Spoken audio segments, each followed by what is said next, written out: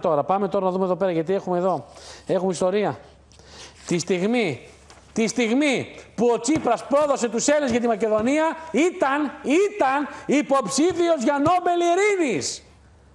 Για γέλια και για κλάματα πάνω Τσίφα. Τι να πω εγώ, τα πες όλα. Ευτυχώς δεν το πήρε το Νόμπελ. Τα πες όλα. Ήταν πόλεμος στα Βαλκάνια και τον έλυσε. Είναι φοβερό. Πες μας λίγο τι έγινε εδώ. Λοιπόν, ε, μέχρι και πριν από... Ήταν, όχι είναι ήταν. Ήταν, ναι. Πάμε. Μέχρι και πριν από λίγη ώρα, μέχρι και τις 12 και 30 ώρα Ελλάδος, αναμένονταν να ανακοινωθούν ποια είναι τα ονόματα για το φετινό Νόμπελ Ειρήνης. Ανάμεσα σε αυτά λοιπόν ήταν του Αλέξη Τσίπρα, Ναι. αλλά και του Ζόραν Ζάεφ, ε, όπως επίσης του Ντόναλτ Τραμπ και του Κιμ Jong-un. Αυτό για να καταλαβαίνουμε... Πάμε βρε στους δικούς μας, το- πάμε εδώ πέρα στο Τσίπρα, το δικό μας πάμε. Το Λοιπόν. τι με νοιάζει με τι κάνει ο Κινέζος.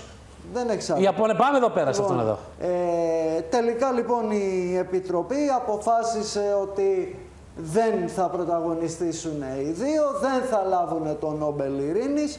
Ανταυτού λοιπόν το Νόμπελ παίρνει ε, ο, ε, ο Ντένις Μουγκουέντγκε, συγγνώμη, Μουγκουέντγκε και η κυρία Νάντια Μουράντ, Ναι.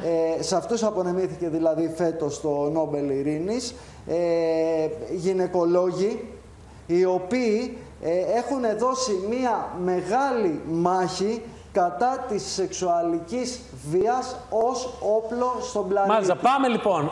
Ο Τσίπρας ήταν μέσα στη λίστα για να είναι υποψήφιος, για να πάρει το Νόμπελ Ειρήνης, επειδή χάρισε στους Σκοπιανούς το όνομά μας, τη Μακεδονία μας και ό,τι άλλο συνεπάγεται. Παναγιώτης Ψωμιώδη σε πολύ λίγο στη τηλεφωνική μας γραμμή να τον ακούσουμε για να μας κάνει το σχόλιο του, γιατί είναι πραγματικά εξοργιστικό να ακούει ο Έλληνας και η Ελληνίδα ότι το όνομα του Πρωθυπουργού της χώρας που χάρισε το όνομα της Μακεδονίας είναι για να πάρει και Νόμπελ Ειρήνης. Έλα διστάλου. Νόμπελ κάτι άλλο Νόμπελ έπρεπε να πάρει. Πάντως η Ειρήνης όχι. Μάλλον Καρπαζιάς. Η Ειρήνης πάντως όχι. Έτσι υποβαθμίζεται και το Νόμπελ θα έλεγα. Μάλιστα. Μένουμε εδώ πέρα, πάμε λοιπόν, έχουμε μία έκτακτη είδηση. Στενάχωρη είδηση,